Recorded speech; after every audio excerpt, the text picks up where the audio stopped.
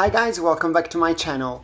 Uh, I recently purchased a Clarisonic Mia Prima because it was on sale in Harrods and I thought I'd try their foundation brush head replacement.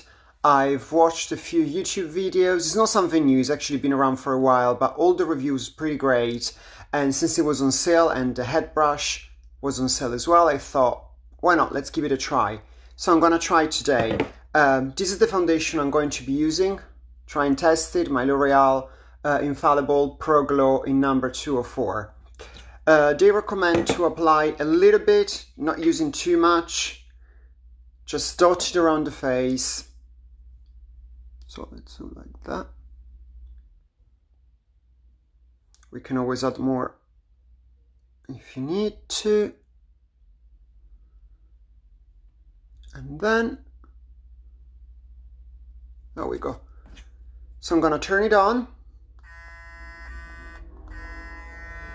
And let's try.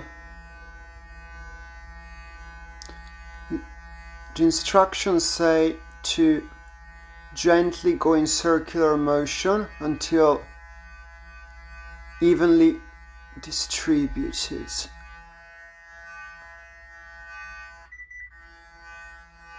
So far, so good, what do we think?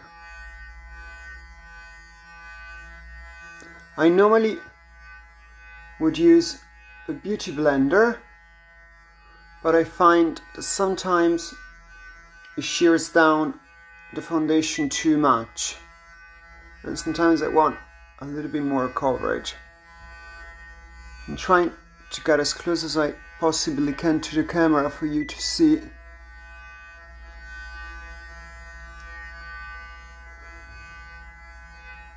I mean, it feels nice. Oh, the one minute has elapsed, so you have to turn it on again, because I think it's preset to a minute for when you use the actual cleansing brush.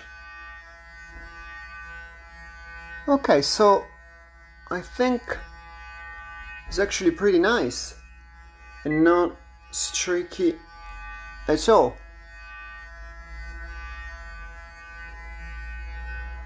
Okay, let's have a look.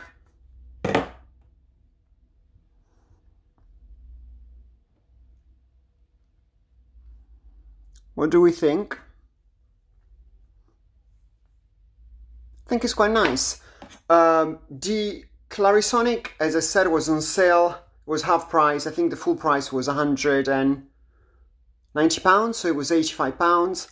And the foundation brush was 32 and it was reduced to 16 and you should replace it I think every three months. They advise you to clean it with a little bit of soap and water every so often but I have to say that I like it. It's great. What do you guys think? Let me know in the comments down below. Have a great day. Bye.